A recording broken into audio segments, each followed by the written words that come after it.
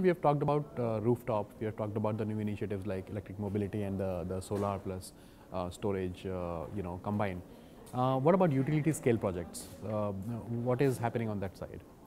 So, utility scale projects there have been a little bit of a slowdown in the recent past because of the payment challenges that are being faced by the by the IPPs and uh, this has all been triggered by certain states which started to at least threaten of renegotiation, threatening about the renegotiation and uh, which has- issue. yeah, yeah. So which has which has sent the wrong, wrong signals generally to the investor community and to the banks. So people have become wary about whether they really want to go on a uh, on a on the earlier pace of setting up the of the renewable plants.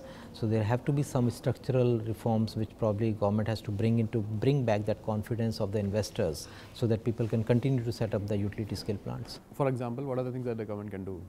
A couple of things which uh, at least I have in mind as a structural reform is about the direct benefit transfer. If the government really believes that there is a segment of consumers which need support, just like we have done in the case of LPGs, that you need to have a subsidized source of energy. So therefore, we give you the electricity, but we will also give a direct benefit transfer. Instead of pushing that uh, loss onto the balance sheet of the or the P&L of the distribution companies is probably better that we start giving direct benefit to the consumers and the distribution companies should recover the full cost. Okay. So that will be one segment of this reforms.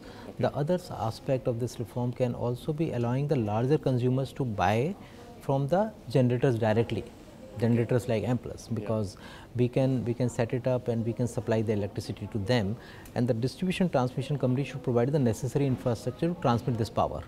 They should not incur the losses. There is no intention of putting them into the losses. So whatever is the fair cost of operating the transmission and distribution infrastructure should be recovered from the generator and the consumers Okay. who are doing a direct transaction. And on the as far as the lower paying customers are concerned, the government should give the direct benefit transfer or the subsidy transfer to the consumers. So on overall basis, the system is self sufficient.